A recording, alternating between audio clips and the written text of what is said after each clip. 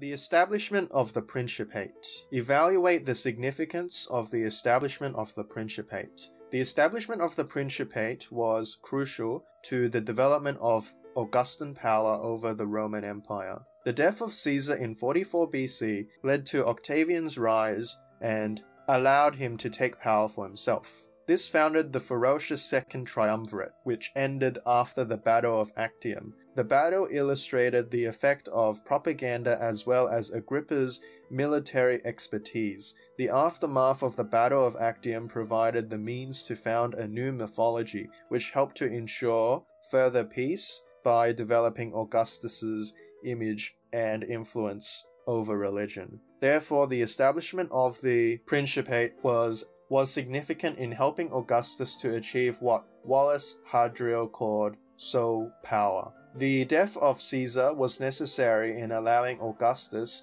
to take the ultimate power since it provided the catalyst for him to take power. In 44 BC, Caesar was assassinated by Brutus and Cassius, who fled Rome according to Appian. Octavian was revealed to be his intended successor according to Eck because he was Caesar's great nephew who he adopted himself. Augustus used the funds that were meant for the Parthian campaign and won over the war veterans in Brundisium in order to march on Rome in a state of high treason, according to Eder.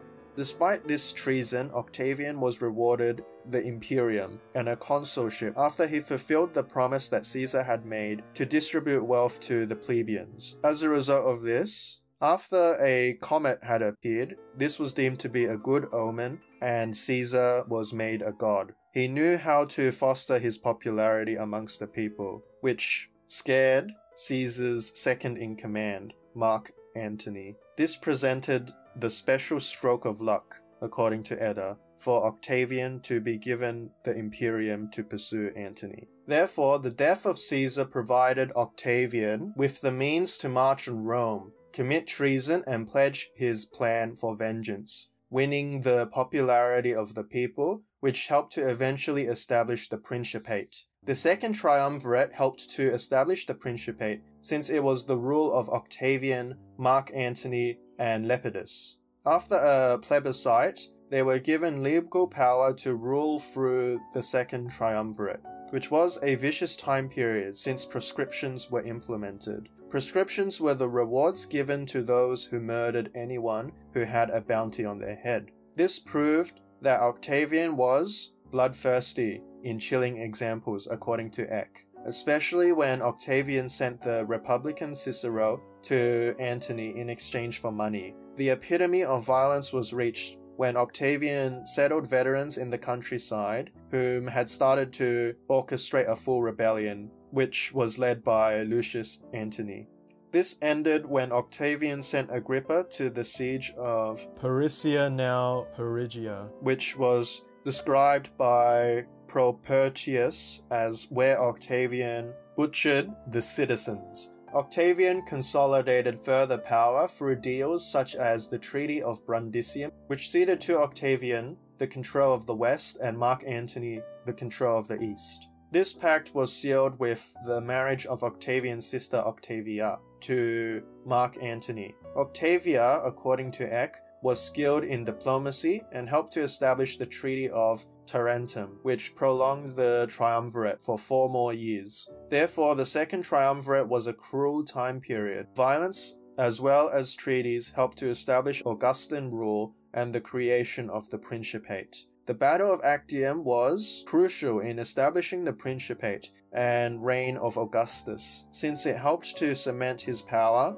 and achieve sole authority. With evidence of Antony cheating Octavia, she divorced Antony in 32 BC according to Eck, and Antony took Cleopatra as his lover, or what Eck called the Oriental paramour. Rumors circulated in the Senate about Antony and Cleopatra's rule and affair, so Antony's imperium was cancelled. This started the Battle of Actium in 31 BC, and Agrippa was dispatched. Proving loyal and most importantly victorious, Agrippa had previously won the siege of Perusia. and war against Sextus Pompeius. Agrippa raided the Greek coast and managed to cut off communications and supplies, effectively trapping Antony and Cleopatra in the Bay of Actium. There were reportedly 200 ships, 60 of which were given by Cleopatra, according to Dio. The use of propaganda helped to win the civil war since Octavian achieved systematic denigration of Mark Antony, according to Wallace Hadrill. At the end, this caused Cleopatra to flee. Antony accompanied her, and their fleet was surrounded, making this not much of a battle, according to Propertius. Propertius. Antony and Cleopatra committed suicide, according to Horace, once they had arrived back in Egypt, and Octavian annexed the realm, annexed Egypt, effectively winning the Second Triumvirate and Civil War. Therefore, with with the aid of Agrippa and propaganda, Augustus won the Battle of Actium, which helped to importantly establish the Principate. The creation of a new mythology fostered Octavian's image, which helped to found the Principate. He became Princeps, the leading man in Rome, and on his return to the city, he was made Augustus, a title meaning that he was above humanity. A new mythology grew in which Augustus was hailed as triumphant general, savior of citizens and Rome, according to Yavetz. This new image was cemented when Augustus justified his earlier motives in his book, The Res Gestae, where all of his previous battles and violent suppressions were in fact displays of righteous vengeance for his uncle Caesar. Quote, he changed images from ferocious tyrant to pater patriae, according to Gibson. Pater patriae means father of the nation. This notion of him as savior of Rome was minted in every coin, and in the Res Gestae, he manipulated history in that he saved Rome from a tyranny of a faction.